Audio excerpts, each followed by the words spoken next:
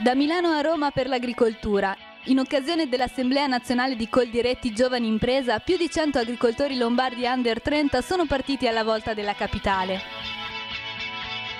La passione per il proprio lavoro e la consapevolezza di doversi spendere in prima persona per sconfiggere la crisi del settore agricolo hanno spinto questi giovani ad affrontare un lungo viaggio in pullman per potersi poi confrontare con i propri coetanei provenienti da tutta Italia.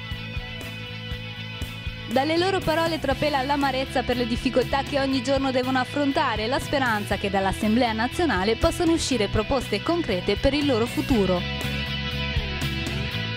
Mi aspetto quello che si raccoglie generalmente in questa, in questa occasione, cioè veramente un confronto importante non solo con tutti i ragazzi di tutte le zone d'Italia, ma vivere un fermento di, di idee, di proposte, di, veramente di energia che si, che si percepisce sempre in queste occasioni incontrando tutti i ragazzi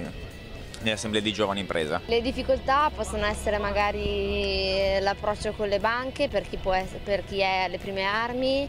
e poi vabbè, altre magari difficoltà sul lavoro più che, eh, più che in campo, eh, magari in ufficio con tanta burocrazia e contabilità. Il problema del, del mais da noi è che il clima, il clima, è cambiato parecchio, diventa sempre più complicato coltivare, coltivare riuscire a produrre